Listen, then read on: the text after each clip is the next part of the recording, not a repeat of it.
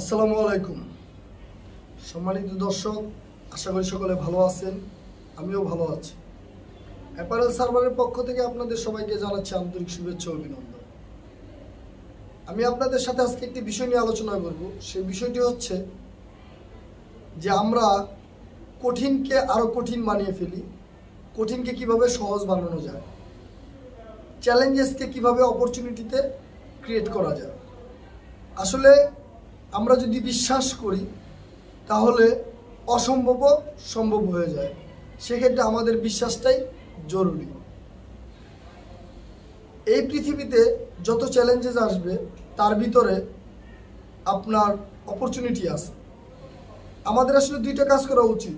যখনই নতুন কোনো চ্যালেঞ্জেস আসে, সেখানে আমাদের মূলত দেখা উচিত যে ওই প্রবলেম বা ওই চ্যালেঞ্জেস কীভাবে সমাধান করা যায়, এটা হচ্ছে নাম্বার ওয়ান নাম্বার টু হচ্ছে ওইখানের ওই সমস্যাকে কীভাবে সুযোগে পরি- পরিণত করা যায় মানে অপরচুনিটিতে কনভার্ট করা যায়।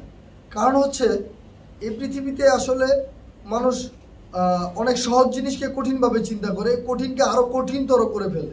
বাট আমার কথা হচ্ছে যে আমরা কঠিন জিনিসকে কেন সহজভাবে চিন্তা করতে পারি না, কেন আমরা সহজভাবে উপস্থাপন করতে পারি না?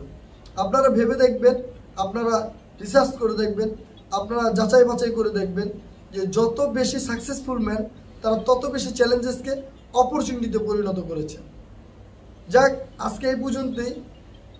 আগামী দিনে আবার আরও কথা হবে। ভালো থাকবেন। আল্লাহ হাফেজ।